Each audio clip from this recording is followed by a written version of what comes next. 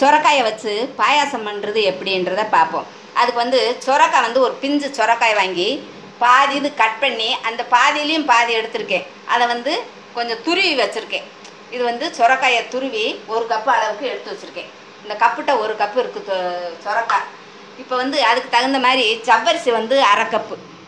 ஜவ்வரிசி அரை கப்பு. இது வந்து வேகிறதுக்கு ரொம்ப நேரம் ஆகும் ஜவ்வரிசி. அதனால் நான் ஒரு மணி நேரமாக ஊற போட்டு சுத்தம் பண்ணி எடுத்து வச்சுருக்கேன். பால் இரநூறு கிராம். அதை காய்ச்சி வச்சுருக்கேன். இரநூறு கிராம் பால் காய்ச்சி வச்சுருக்கேன். கொஞ்சம் நெய் ஜீனி ஒன்றேகால் கப்பு சவ்வரிசியும் சொரக்காயும் சேர்ந்து ஒன்றரை கப்பு இருக்குது அதனால் நான் வந்து ஜீனி வந்து ஒன்றேகால் கப்பு எடுத்திருக்கேன். நீங்கள் அவங்கவுங்க சுகருக்கு கூட குறையா எடுத்துக்கோங்க. கொஞ்சம் கிஸ்மிஸ் பழம் கொஞ்சம் ஏலக்காய் பவுடர் கொஞ்சம் முந்திரி. இவ்வளோ தான் இதுக்கு தேவையானது. இப்போ வந்து நம்ம ஸ்டவ்வை ஆன் பண்ணிடுவோம். ஜவ்வரிசி வந்து வேகட்டும். நம்ம அதுக்கு அதுக்குள்ளேயே நம்ம வந்து சொரக்காயை ஒரு வாயில் துணியை வச்சு புளிஞ்சு எடுத்துருவோம்.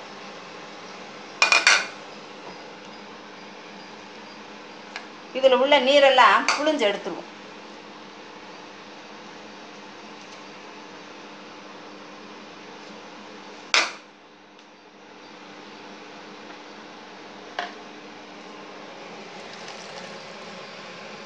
சுரக்காயில் வந்து நிறையா தண்ணி இருக்கும். அதை வந்து கொஞ்சம் புளிஞ்சு எடுத்துட்டோம்னா நல்லது நம்மளுக்கு. ஒரு வாயில் துணி எடுத்து நல்லா புளிஞ்சிருங்க அதை எடுத்து வச்சுக்குவோம். இப்போ வந்து நம்மளுக்கு ஜவ்வரிசி வெந்துக்கிட்டு இருக்கு. நல்லா வெந்து கொதிக்கட்டும். ஜவ்வரிசி கொஞ்சம் நேரம் கொதிச்சு வேகட்டும். சீக்கிரம் வெந்துடும் ஊற போட்டதுனால ஜவ்வரிசி வந்து வெந்துக்கிட்டு இருக்கட்டும். இப்போ வந்து நம்ம சைட் பை சைடாக சொரக்காயை நெய்யில் வறுத்து எடுத்துக்கிருவோம். கொஞ்சம் நெய் விட்டு சொரக்காயை வறுத்துக்கிருவோம்.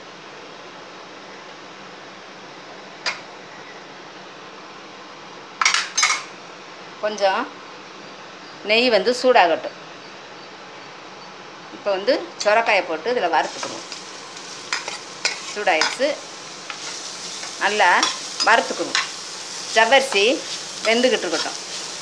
சீக்கிரம் வெந்துடும் நம்ம ஊற போட்டதுனால ஜவ்வரிசி சீக்கிரம் வெந்துடும் அதுக்குள்ளே இதையும் வறுத்துக்கணும். நல்லா சொரக்காய் வந்து நெய்யிலேயே நல்லா வேகிற அளவுக்கு வதக்கிடணும். அடி பிடிச்சிடக்கூடாது. கருக விடாமல் வதக்கிடுங்க ஜவ்வரிசி நல்லா வெந்துருச்சு. இப்போ வந்து நம்ம சொரக்காயும் ரெடி ஆயிடுச்சு நெய்யில் வறுத்து வச்சுருக்கோம். இப்போ வந்து இதை சொரக்காயை வந்து ஜவ்வரிசியில் போடுவோம் அரை கப்பு ஜவ்வரிசிக்கு ஏழு கப்பு தண்ணி வச்சேன். ஏழு கப்பு தண்ணி. ஜவ்வரிசி வேகிறதுக்கு தண்ணி கூட கொஞ்சம் வேணும். அதனால் நான் ஏழு கப்பு வச்சுருக்கேன். அப்போ தான் நம்மளுக்கு கரெக்டாக இருக்கும். அல்லது உங்களுக்கு தண்ணி பத்தாட்டி சுடு தண்ணி பக்கத்து அடுப்பில் வச்சு கொஞ்சம் சேர்த்துக்கோங்க. பச்சை தண்ணி ஊற்றிடாதீங்க ஹாட் வாட்டர் வச்சு அதை வந்து ஆட் பண்ணிக்கோங்க. இல்லை வெந்துருச்சு. நம்ம ஏற்கனவே நெய்யில் வறுத்து வச்சதுனால சொரக்காய் சீக்கிரமே வெந்துருச்சு. இப்போ வந்து நம்ம ஜீனியை போடுவோம்.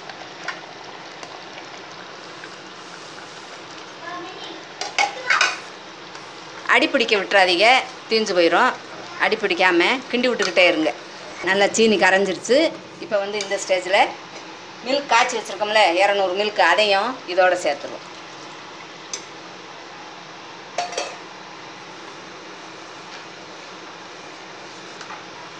நல்லா அடிக்கடி கிண்டி விட்டுக்கோங்க. நல்லா கொதிக்கு கொதி வரட்டும். கொதிக்கட்டும் கொதிச்சுட்டே வேகட்டும் அடிக்கடி இப்படி கிண்டி விட்டுக்கோங்க. இப்போ வந்து நம்ம ஏலக்காய் பவுடரை இதில் போட்டுருவோம். ஏலக்காய் பவுடர் சேர்த்துருங்க. இப்படியே கொஞ்சம் நேரம் அடுப்பில் கிடக்கட்டும். நம்ம வந்து சைட் பை சைடாக இந்த முந்திரியை வறுத்துக்குருவோம். முந்திரியும் திராட்சையும் கொஞ்சம் நெய் விட்டு வறுத்துக்குவோம்.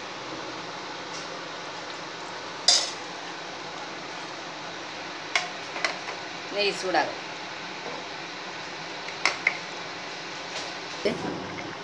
நெய் சூடாயிடுச்சு முந்திரியை போடுறேன்.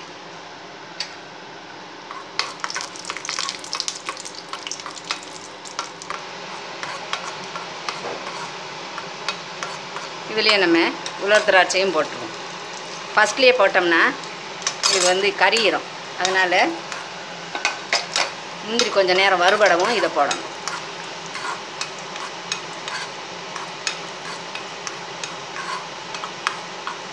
இந்த ஸ்டேஜில் நம்ம பாயாசத்தில் எடுத்து கொட்டிடுவோம்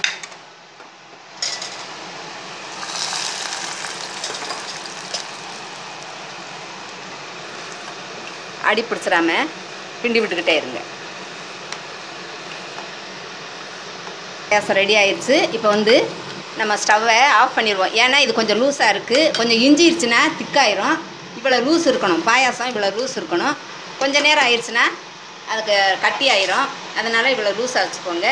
இப்போ வந்து ஸ்டவ்வை ஆஃப் பண்ணிடுவோம் இப்போ நம்மளுக்கு சொரக்காய் பாயாசம் ரெடி ஆயிடுச்சு. நம்ம எத்தனையோ பாயாசம் செய்து சாப்பிட்ருப்போம் ஜவ்வரிசியில் செய்திருப்போம். சேமியா பாயாசம் ரவை பாயாசம் அரிசி பாயாசம் இப்படி எத்தனையோ செய்திருப்போம். இன்றைக்கி வந்து கொஞ்சம் டிஃப்ரெண்ட்டாக இருக்கட்டுமேனு சொரக்காயை வச்சு ஒரு பாயாசம் பண்ணியிருக்கேன். இதே மாதிரி நீங்களும் வீட்டில் செய்து சாப்பிட்டு பார்த்துட்டு உங்கள் ஃபீட்பேக் எழுதுங்க. நன்றி.